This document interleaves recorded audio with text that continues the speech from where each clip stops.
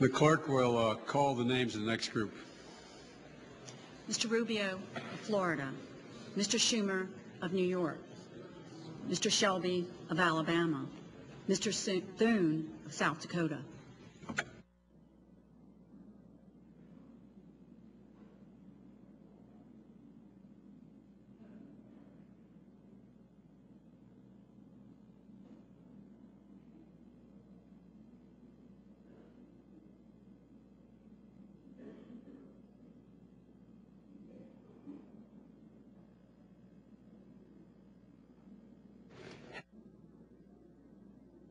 Get sworn in.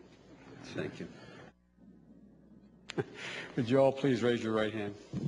Do you solemnly swear that you will support and defend the Constitution of the United States against all enemies, foreign and domestic, that you will bear true faith and allegiance to the same, and that you take this oath of obligation freely without any mental, mental reservation or purpose of evasion, and that you will well and faithfully discharge the duties of the office on which you're about to enter, so help you God.